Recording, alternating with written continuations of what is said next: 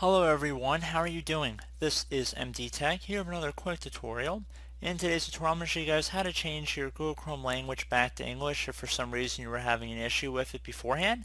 So this should be a pretty quick tutorial and without further ado let's jump right into it. So we're going to start by opening up the Chrome web browser. Navigate over to the top right and left click on the menu icon right here and then go down to near the bottom, it should say settings if you're currently on an English version, but it should be the third button up from the bottom. So just left click on that. If you did it correctly, your screen should look like this at this point. Now you want to scroll down all the way to the bottom until you get to the button that currently says advanced. I'm running an English version, but it should be the button that has a little arrow right next to it. You want to left click on that Scroll down again until you get to an area that should say languages. Again, you might not be able to read it, but there should be a language listed right underneath. So hopefully you'll be able to at least identify that. It's right above the downloads location where it shows your downloads folder on your computer, and you should be able to read that.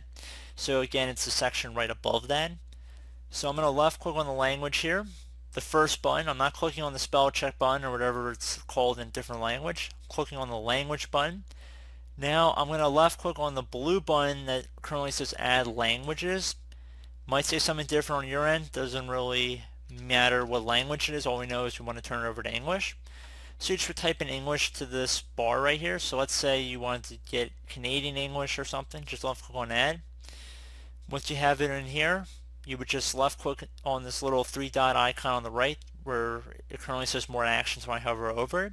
Not 100% sure it'll say that depending on what language you're currently running, but you want to click on that and then the first button should be display Google Chrome in this language. You want to select the first button here and then you want to left click on relaunch right here to relaunch your web browser in that language and that should hopefully be able to resolve your issue.